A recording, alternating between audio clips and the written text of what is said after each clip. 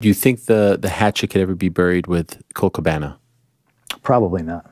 Has it ever been attempted on his side or your side? No, he came up to me one time at a show and was like, I was I was at the curtain watching the show, and he came up to me and he was like, Is this post scrum or pre scrum? No, it was pre. Okay. And he was like, uh, Hey, can we talk so it's not weird between us? And I just said, I won't ever talk to you without a lawyer present. And that was it. Feeling same. What's that? The feeling is still the same. Yeah. Yeah. I mean, it caused all this dumb shit. Right. You know, for no reason. You know, oh, I got the guy fired. He hasn't been on TV since whenever. It is what it is. Yeah. Like I, I, I applaud, and I said this to Hangman. I was like, man, I get taking up for your friends.